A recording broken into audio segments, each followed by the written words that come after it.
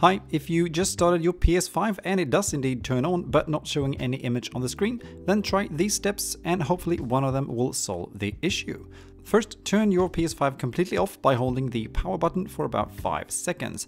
Let the console sit for another 10 seconds and then plug both the power cord out of the PS5 as well as doing the same on the screen or the TV that the console is connected to. Let both devices be without power for about 5 minutes and then plug them back in and retry starting the PS5. If this does nothing, it is also worth testing another HDMI cable as well as switching inputs on your screen if it has got more than one. Also be sure to check the brightness and contrast settings on your TV or monitor to make sure those have not been lowered to zero somehow. If still nothing works, the next step is to boot the PS5 into safe mode and then reset the video resolution. Here you will need your PS5 controller and a suitable USB cable to connect it to the console. Now first again start by turning the console off by holding the power button for about 5 seconds.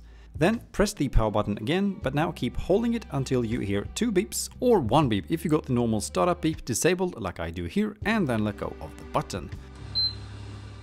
With a little luck, you should now see a very low resolution menu telling you to connect your controller using a USB cable and then press the PS button on the controller. Upon doing so, you should then be presented with the safe mode menu. Again, the image here should look a little bit off because the console is starting up in a lower resolution to combat any eventual problems regarding the video signal. In safe mode, select the second option, change video output, followed by change resolution.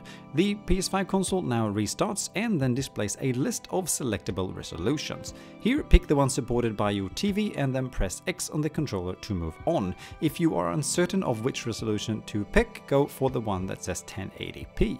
Hopefully the console now starts up like normal.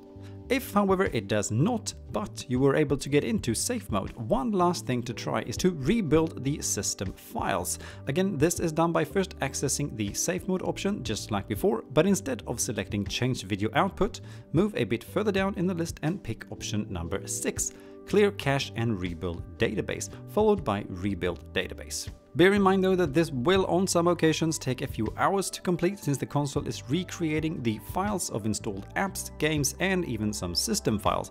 However though, with a little luck, this procedure can also potentially fix issues with both the video output software as well as correct any other system issues, preventing the console from starting up normally. And that is about that. Hope this video helped. Please though share any thoughts or questions in the comments below and I'll do my best to answer them. Thank you for watching, have a nice day, bye!